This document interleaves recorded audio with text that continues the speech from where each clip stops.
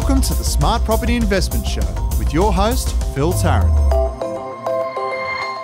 Good day, everyone. How going? Thanks for joining us on the Smart Property Investment Show. Wherever you're listening to this right now, no doubt you're locked down somewhere. Australia's mixed fortunes when it comes to its journey through COVID 19. While the rest of Australia seems to be moving into some new sense of normal. Our friends and colleagues down in Victoria are still right down the middle of lockdown, some significant lockdowns. And the Premier's copping a, an absolute sledging at the moment about how he's acting. Uh, people are calling him a megalomaniac.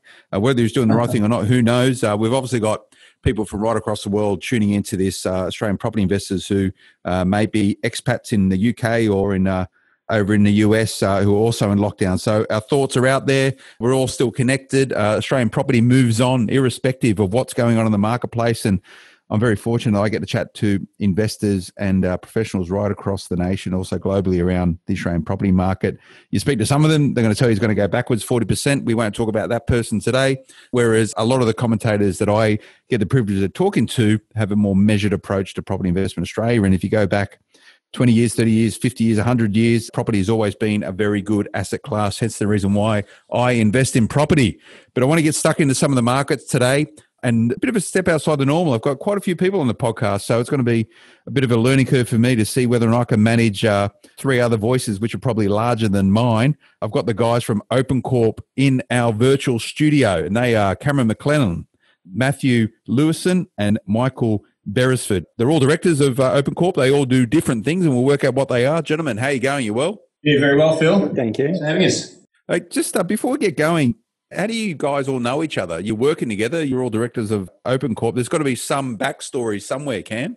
Yeah, cool, mate. Hey, uh, yeah, so I moved down from the country in my early 20s and was working as a box boy at uh, Safeway in one of the outer eastern suburbs of Melbourne. Another guy working there was Al Lewison, who's one of who's Matt's brother. Al and I became good mates. Actually married sisters, not our own sisters, mate. That'd be weird, but we uh, and we each married one of them, and uh, so we're brother-in-laws. Kids are cousins, obviously. We're business partners. Been investing in, in business for well, well over 20, 20 years now.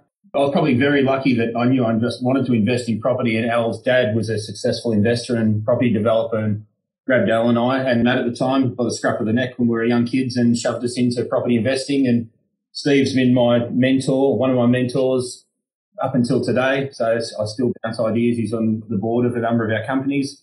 Matt, do you want to, and Boz, do you want to give a bit of a snapshot on how you guys came into the play? Yeah, I'll, uh, take the reins on this one. So, um, when I was a teenager, I was playing footy and happened to play footy with Michael, and he was running around I think he was the fittest bloke at the, uh, the, the club. It was only suburban footy club. He was the fittest guy there. In pre-season, he'd be running laps, lapping everybody else. And when he finished, he'd go to the back of the line and just encourage everybody else through.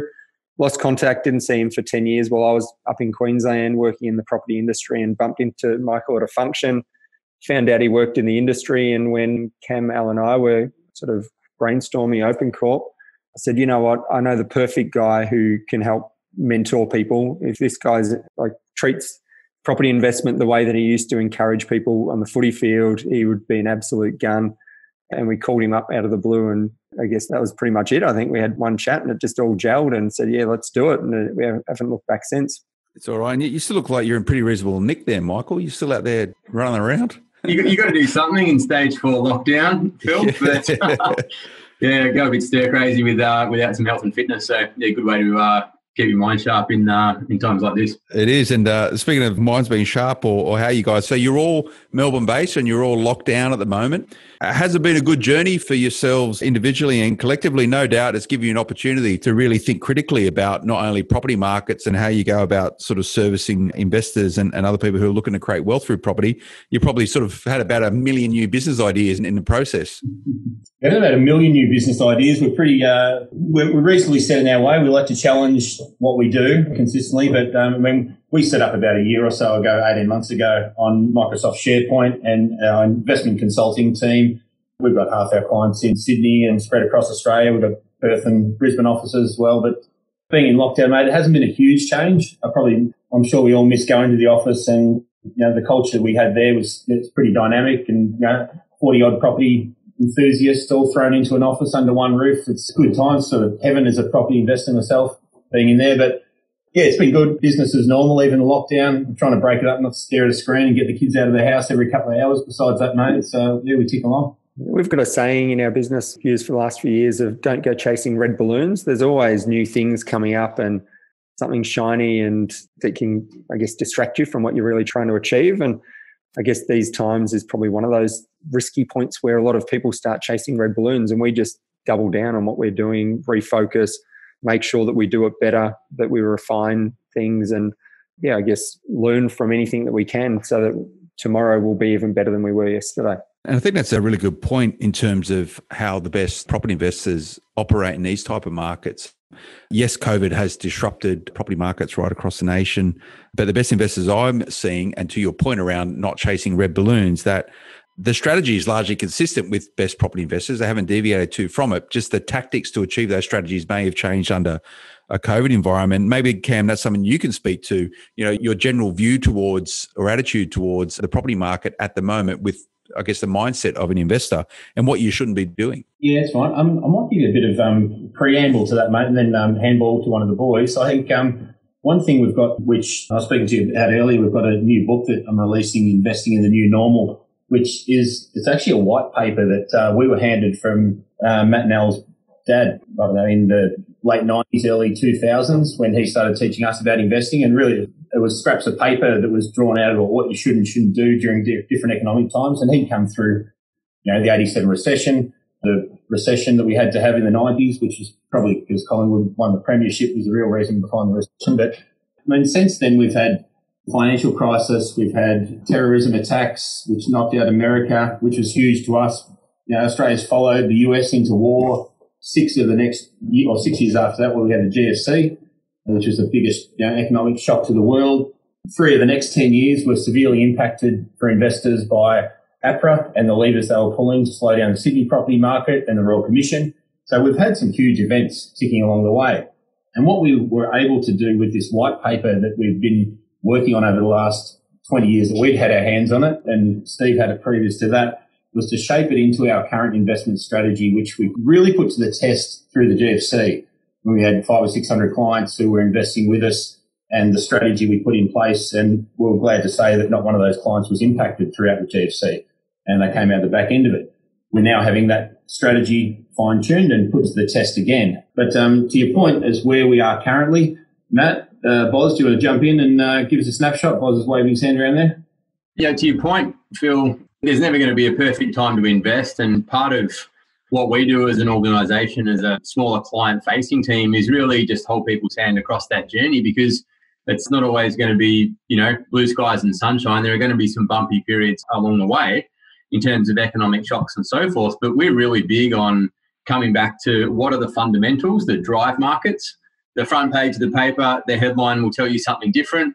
That's there to, to sell papers we're really about trying to help people understand what are those underlying factors and what are the influences on those uh, short, medium, and long term that, that are going to impact the property market.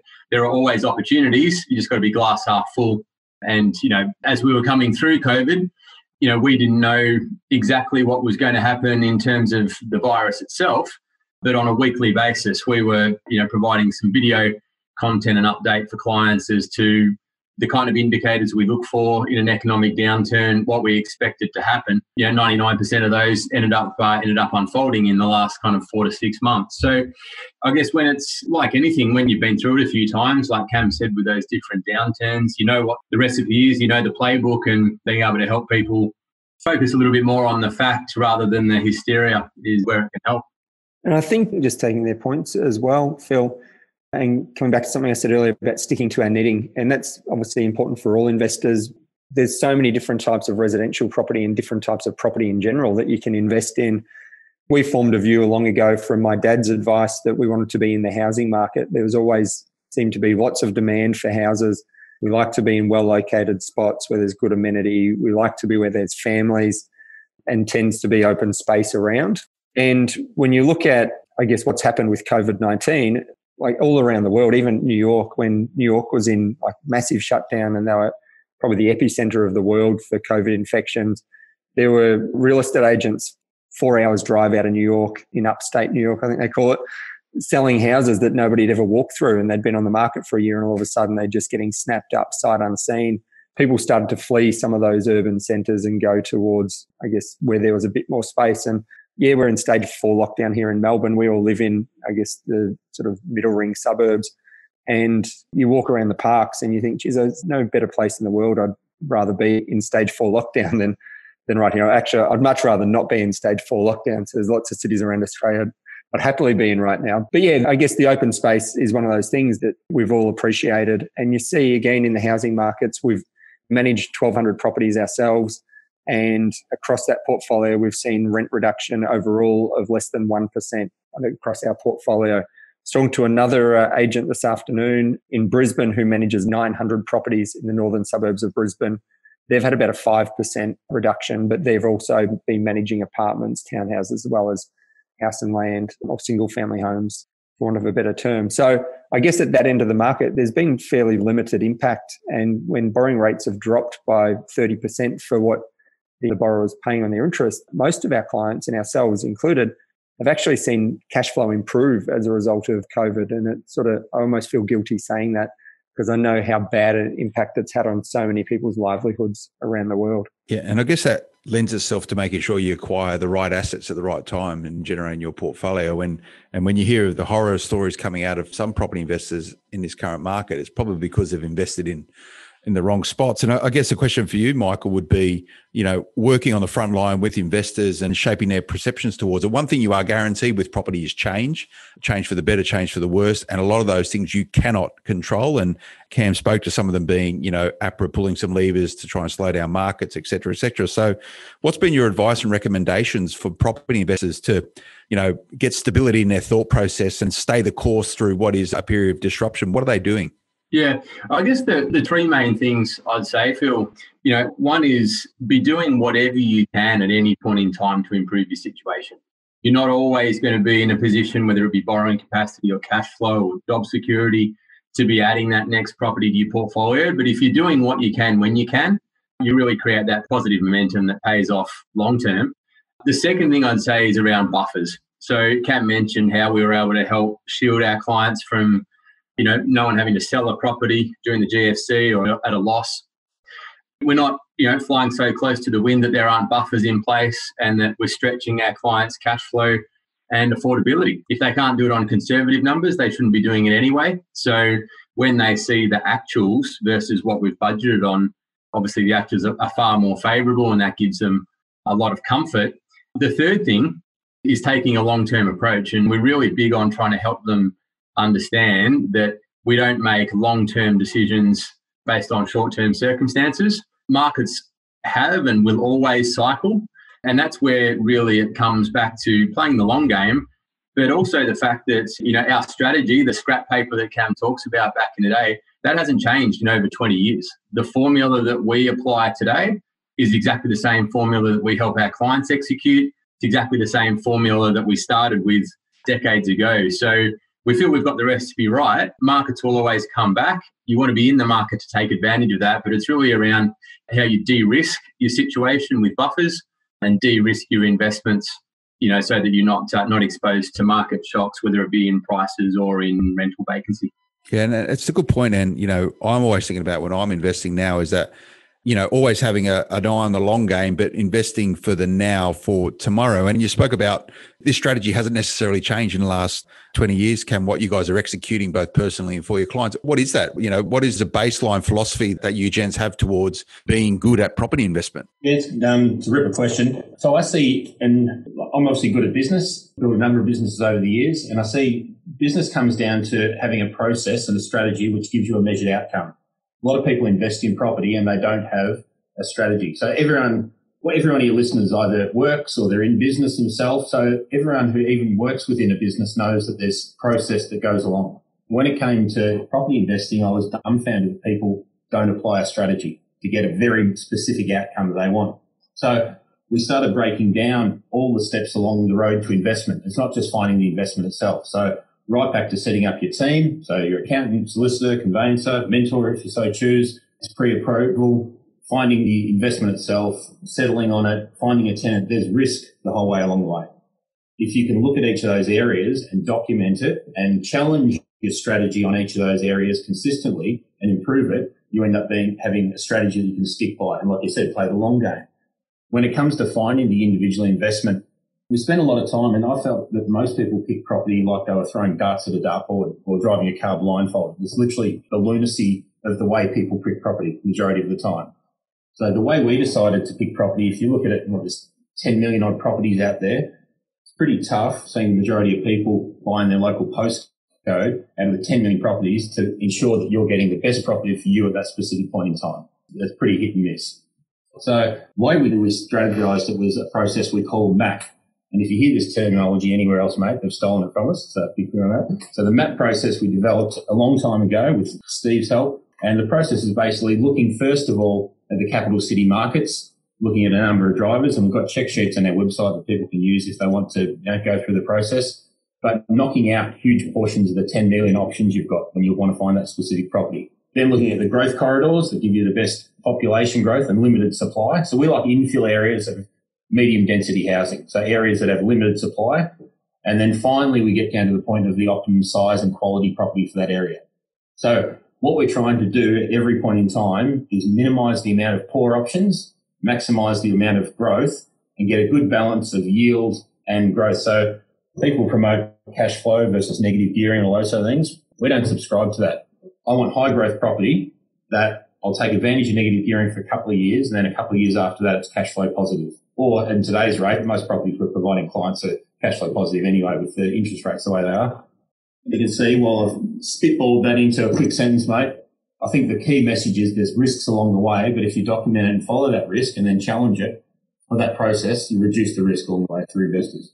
Yeah, and, and everyone needs to have their own appetite and attitude to risk. And I've seen some extremely risky property investors, and I just shake my head sometimes of what they're doing. And a lot of them don't have a strategy. And I think the key thing I take from what you just said there, Cam, is that the best property investors do this naturally organically, but it takes for other property investors some time to understand this is that they need to delineate between objective strategies and tactics. And it sounds as though your particular organization there, you know, at the strategic level, how you support clients, but you break it down on the tactical level. And and Matthew, um, you know, when you get into the identification of a particular place, suburb, whatever it is that supports a strategy, that sort of lends itself to your particular expertise.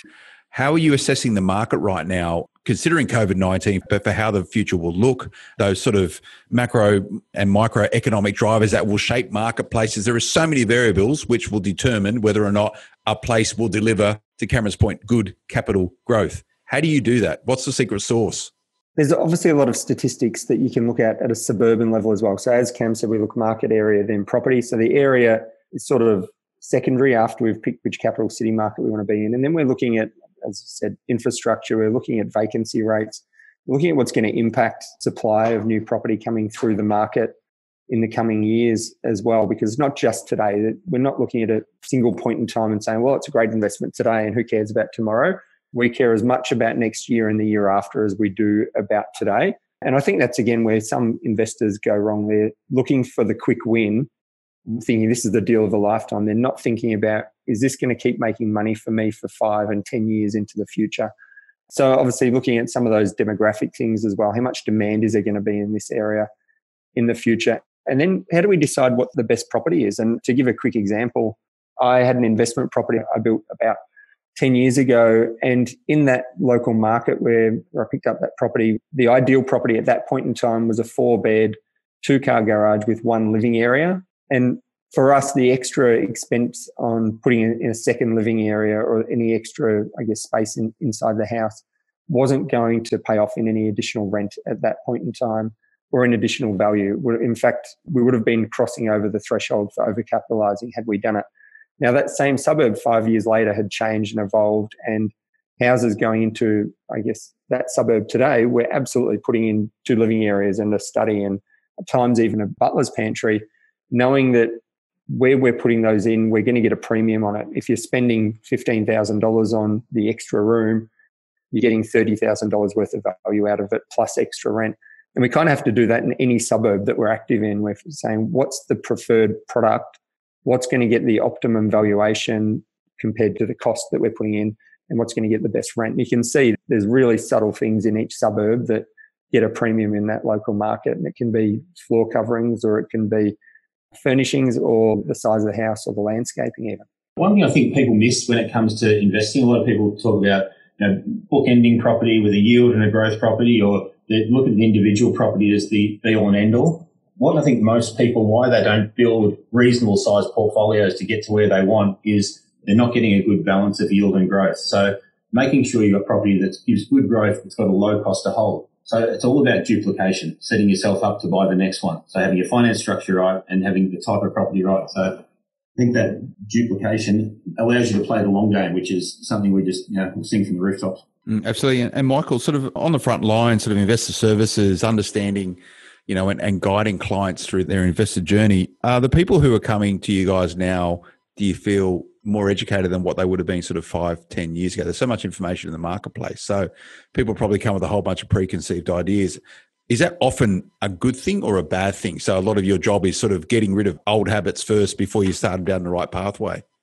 I think what I've seen over you know 12 plus years of helping initially family and friends, and then you know all of our clients feel is that there are more motivated people coming to us. Like that inherent motivation to improve their financial situation and understanding that the pension's not going to cut it or that they want better than that.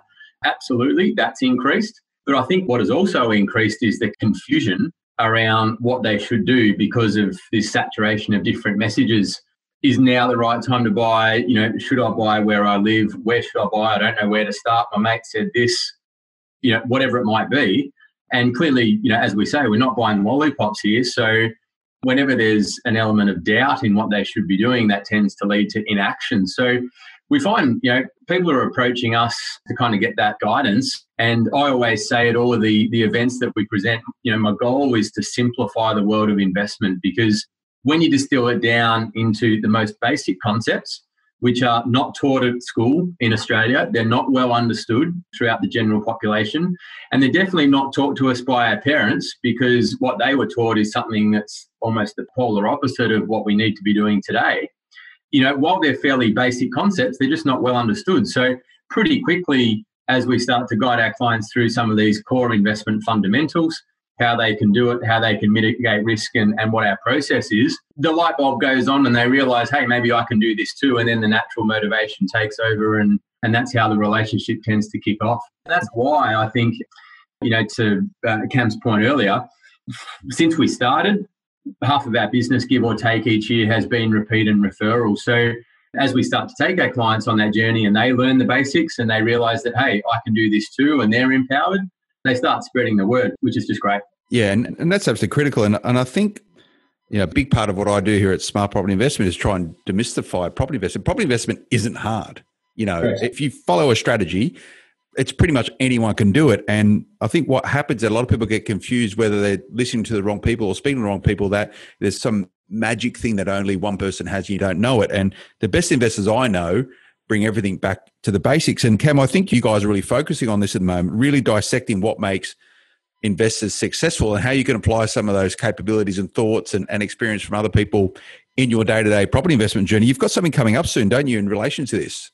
Uh, yeah, we do, mate. If uh, for those listeners who are listening to this pretty well after release on the 27th of August at 12:30 and 7, we're, we're running a, a webinar which uh, Michael and I'll host, and it's basically golden rules of master investors. We've dissected four key investors and looking at the traits that they, the investment strategies and the traits that they hold and the core lessons that we took from them along our investment journey that helped us form the way we invest.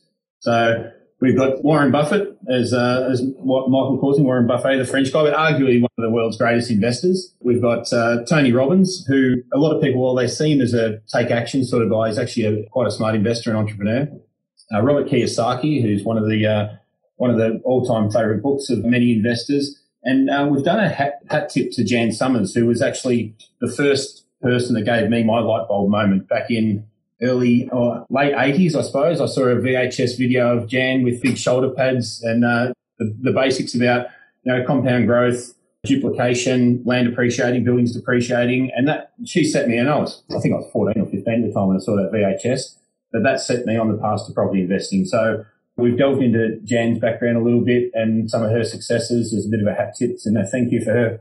Yeah, I know a lot of people look to Jan as you know the matriarch of property investors in Australia. Yeah. She's been um what she was doing 20 years ago is still consistent today. So this goes back to finding a strategy that works for you that has a specific outcome and going about doing. It. Can you give us a bit of an inside finding from uh, your webinars tomorrow? What what would be one thing that's common amongst all those four investors that have made them successful? To be to be brutally honest, and, and it's actually one of Jan's sayings, which rings true with each of them. Don't be a lemming. So the majority of Australians go about doing the same old same thing and get the same result as the majority of Australians, which is retiring financially below the poverty line or at the poverty line. So they'll, they'll chew into their super and then end up on what's close to the pension if they've got anything left. So the main thing about those individuals and most successful investors I know is that they're happy to strategically do something outside of the norm. So um, I think that's the main thing, right? Um, and that's one of the core lessons we'll go through. We've got some good bits and pieces that you can jump on to opencorp.com.au and register for that. And if it's past the event, you can do a contact us and we'll get you a, uh, it's a gated webinar. So we'll have a recording of it we can get for people. Okay, that sounds really good. And, you know, going back to what successful investors doing and accessibility to investment, and that's something that Jan Somers has talked about, is if you've got a job in Australia and you have a strategy and you've got the right people around you, Cam, can you invest in property? Is it available and accessible to everyone? Yeah, it's, it's funny, you know. So February was probably, if we talk about volume of investments that we provide to clients, February was the, highest volume we'd had in two and a half years thereabouts. Forgive me if I'm wrong, Michael. June was the second highest. So you think about it. So this is through the COVID period. February, great guns, everyone locked down. We sat there working out what government policy levers will be put in place. Once initial lockdowns came back, the property market across Australia took off. And June, we had the largest amount of investors bar February for a couple of years investing with us because we can get some really good buying at the moment. Well, interest rates are low as they've ever been, right? It's never been more accessible. It's amazing. Even just looking at interest rates, I mean, you talk about, I think obviously the cost of borrowing has dropped 30 to 40% for some borrowers. Theoretically, somebody who's earning the same today as they're earning at the start of the year can borrow 40% more than they could at the start of the year. So that's going to flow through to property prices. Yeah, and again, it's one of those cause and effect things you have to think about. One thing we broke down in investing for the new normal, people would shoot me an email, cam at OpenCorp, if they want to get a pre-release copy of that. But we broke down, and I look at the share market, and we analysed this. The uh, was it the S and P top 500? If you look at the last 20 years, it's averaged. If you buy and hold long term, and that's what we uh, instill in people in the share market, which is a lot more liquid and moves around a bit more during these economic times, which is why we did the study into it. You would average about an 8.2% growth rate. If you excluded the top 10 growth days, out of that 20 years, you're down to 4.5%. The top 20, you're down to 2.1 and the top 30 days, you're down to zero for that. So a lot of people go through these economic times and get out of whatever market they're in. One thing that was really interesting, which uh, JP Morgan did a study and we got the data from it, was the best six days out of the, um, those 20 years were within two weeks of the worst days. So if we look at where the growth happens is straight after it. Now, we said the share market's a lot more volatile. But what we've also done in the study through the book that we've put together is the 12 to 24 months after an economic downturn is when we've seen huge amounts of growth in the property market, residential, medium density property market in Australia. Other types of markets move around a bit, but for those who want to buy and take advantage of the upswing when, when it happens, there's good to be had for sure. So, mate, you run through it really quickly there. So, you're making that available to people if they want a, a pre-release copy of it. Yeah, we're looking at uh, it'll be in market within the next three to four weeks. It'll go to print, so uh, publishers will probably get it out within the next month. But if people want a pre-release copy of it, they're welcome to email me, and I'll put them in a list to make sure they get a copy of it. So yeah, like I said Cam at OpenCorp, but it's a a collaboration piece that Matt, Michael, and I have been working on over the last 15 years, and the core of it. So it's basically the white paper that Steve handed to us in a binder way back when, mm. but together thought during this period of time we'll piece it together and actually make it into a book. What was it equal contribution? Let's be honest. Who did most of the heavy lifting on it, boys? Uh, we've, we've bounced around a bit over the years, the last 15 years, probably Matt and I. But what, where we've pieced it together, and I'm a lazy Phil, like when I write books, I'm really lazy, so I'll dictaphone stuff or Revit and get it transcribed and then shape it into play. And then I hand it to Matt and say, can you fix it up and put all your red pen across it and uh, fix up all my mistakes? And then we bounce it back to Boz and say, is that about right? So it's a collaborative effort, but uh, this one, Matt and I probably done the heavy lifting. Yeah, no, but it sounds like that's a, a, good creative journey to actually extract the information and three people coming from very different areas. And Matthew, no doubt, I know a lot of our listeners have been going, this is all really good.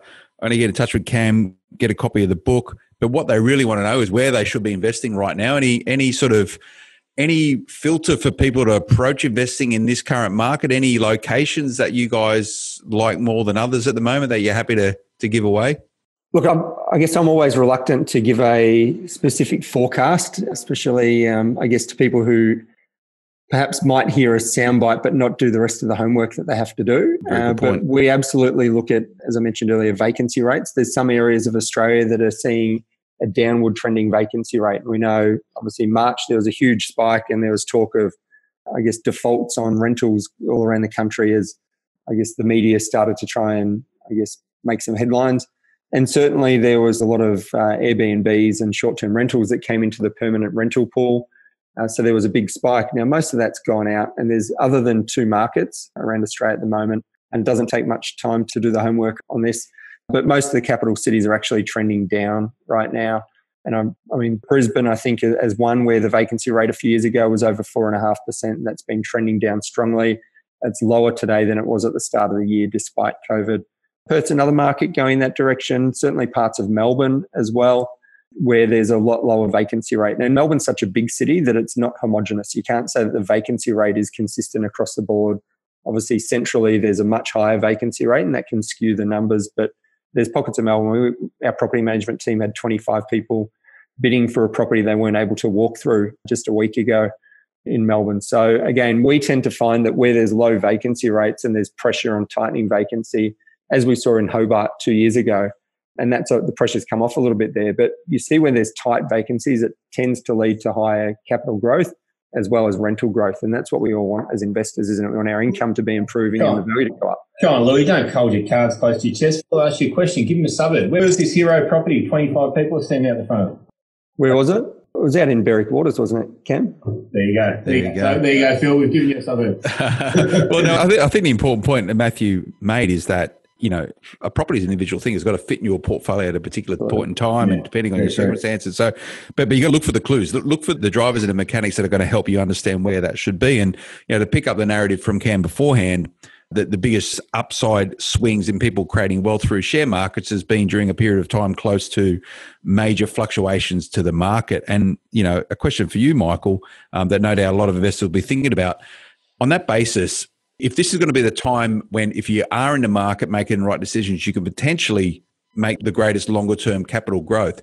Should you be rushing into the market right now, or how long or how wide is this window going to be to be an effective investor to potentially capitalize on this particular dynamic? Yeah, again, that's a bit of a crystal ball question, Phil. But the way that I'll answer it, I'll, I'll ask you a question back with the benefit of hindsight. Would you have bought a property 35 years ago? Absolutely. I'm yet to meet someone that wouldn't. But if I'd said to you 35 years ago, hey, Phil, you can buy a property, but in the next 35 years, negative gearing will be taken away, then it will come back. Then we'll have a recession, double digit inflation. We'll have an Asian financial crisis where international stock markets lost 60% of their value. A couple of years after that, we'll have September 11. Six years after that, seven years after that, we'll have the GFC, and then we'll have a tough lending environment the number of people that would be willing to buy 35 years ago drops dramatically. But we all know what's happened over that time. So I was listening as Matt and Cam were talking before and thinking that I guess when you get well practiced and well versed at shutting out short term situations like COVID, I bring it back to what I call the pub test. So if we're sitting at the pub having a beer when we could, and I said to you that there was a way that you could invest in something that had a proven track record that in addition to the proven track record, the government is going to be forced to adopt certain policies that will benefit house prices coming out of the COVID downturn. Interest rates are going to be low and at record lows for the foreseeable future based on some indicators that we can look at to understand that. And it's the bank's vested interest to ensure that the property market is stable. Is property something that you'd invest in? That's really what it comes down to is the nuts and bolts. It doesn't matter what the COVID count is yesterday versus what it might be tomorrow. That's what we talk about coming back to that long term stuff. So I'm a bird in the hand's worth two in the bush. I'd much rather be in how good does it have to be know that the um, the, the vested interests mean that the, the market will be stable, and we've definitely seen that in terms of the floor being protected in the last six months or thereabouts, and know that that recovery will come. So, if I can hold a property that's paying for itself from day one, the growth will happen when it will happen, and there's definitely that long term outlook. That's what we're talking to our clients more about. And probably just a couple other things. And I, I don't think that it's ever necessary to try and tell people that if they don't invest now, they're going to miss out forever, because that's absolutely not the case. But I guess when you look at what's happened even to date, and you think think about timing and urgency, I guess to some degree, four months ago, every developer in Perth was giving away fifteen to twenty thousand dollars to a buyer who came along, whether it was an owner occupier investor. They were desperate to sell. They couldn't almost couldn't give their land away. Obviously, then the federal government announced the home builder scheme where they're giving twenty five thousand dollars to eligible owner occupiers. And a day later, the state government offered an additional twenty thousand dollars to investors and owner occupiers within a week, every developer in Perth had sold every titled block of land that they had. They'd gotten rid of every one of their discounts and they were selling land at full price again. And then a month later, their prices have gone up. So within the space of about a month, the price has gone up by about 10% on a lot of blocks of land instantaneously. Now, that hasn't flowed through to house prices, but that creates a lot of activity. We see similar in Brisbane. The number of land sales went up 400% in June. So once the market comes out of lockdown, they call it the elastic band effect, there's months and months of people not buying who need to buy because they've got to move out of their property at some point in the future or they're outgrowing it. And all of a sudden they come into the market at the same time. So there's a lot of demand all of a sudden focused on a very short space of time. Therefore, obviously that has a bit of caused a bit of a bounce. So we've seen that, as I said, in Perth and in Queensland. We've seen it around the world in some of the other major cities where the cities come out of a lockdown we haven't yet seen it in Sydney because Sydney's still bubbling away a little bit with the health and Melbourne's Melbourne's a bit of a leper colony right now and there's a lot of constraints on people turning up at auctions and and so on. So we expect that there's going to be a bit of an elastic band as well, plus mm. the benefit of any other stimulus that the government puts in after we get through this. And right now the handbrake's on because half the country's in lockdown. Once that comes out, the government's really going to start pumping some gas to build up this economy and you know where it ends up. Yeah, and it sort of lends itself to Michael's point. You can sit around and be an armchair investor and and sit on the sidelines and comment and pontificate, or if you're not in the market, you're not going to get the benefits of the market, good or bad. So um, everyone needs to have their own attitude towards that, and those attitudes going to be shaped by your mindset, mindset shaped by education. So two things that to help you on that journey, um, and myself included, I'm always trying to stress this and challenge myself. The, the pre-release of this book called Cam, what is it again? Investing in the new normal. Okay, so this being the new normal, I guess, uh, cam at opencorp.com.au. But learning from other investors is key. Hence the reason why we do the Smart Property Investment Show. But uh, those four investors, these guys are going to break down tomorrow. So that's on Thursday, the 27th. Thursday, the 27th. Cam, that's at opencorp.com.au. You can register there. Is that right? You can register there. And if it's past that date, mate, they can do a contact us and we can shoot a link so they can watch it post the uh, event.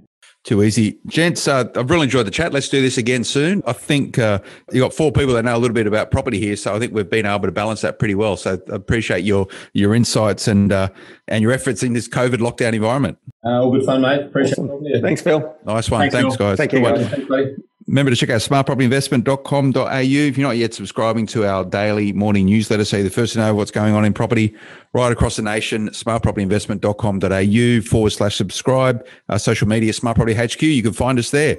We'll see you again next time. Until then, bye bye. The information featured in this podcast is general in nature and does not take into consideration your financial situation or individual needs and should not be relied upon. Before making any investment, insurance, tax, property, or financial planning decision, you should consult a licensed professional who can advise whether your decision is appropriate for you. Guests appearing on this podcast may have a commercial relationship with the companies mentioned.